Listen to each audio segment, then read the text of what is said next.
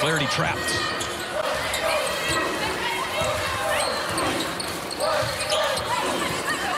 Thirty-point performance tonight for Katelynn Flaherty. 12th of her career, second this season. 10 seconds between shot clock and game clock. Flaherty one more time for good measure. Number 10. Time tonight, Vera, I saw a smile crack on the otherwise stoic face of Katelynn Flaherty. Yeah, I saw it as well.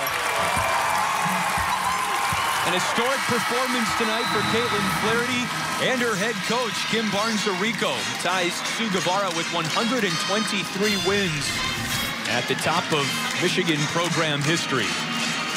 33 for Katelynn Flaherty. That's still not a career high, believe it or not. Her career high is 38.